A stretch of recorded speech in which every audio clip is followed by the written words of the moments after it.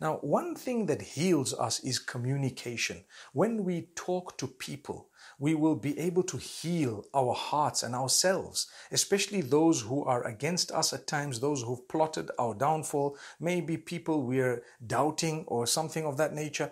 If you can talk to iron out your differences, or at least to, to find the grounds upon which you are, it would heal a lot within you.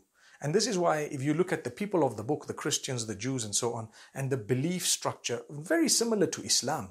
But Allah speaks about how important it is to communicate with them, to have a dialogue, not in order to give up your faith, but in order to understand each other better and explain to each other what exactly we believe. So Allah says in verse number 64 of Surah Al Imran, قُلْ يَا أَهْلَ الْكِتَابِ تَعَالَوْا إِلَى كَلِمَةٍ سَوَاءٍ بَيْنَنَا وَبَيْنَكُمْ you know, say, O Messenger وسلم, to the people of the book, the Jews, the Christians, that come, come, let us talk about this common word that is between us. We worship our Maker alone and none else. The idea here is to commence that communication, to give the message across, to be able to talk, to be able to give them an opportunity to ask, to respond.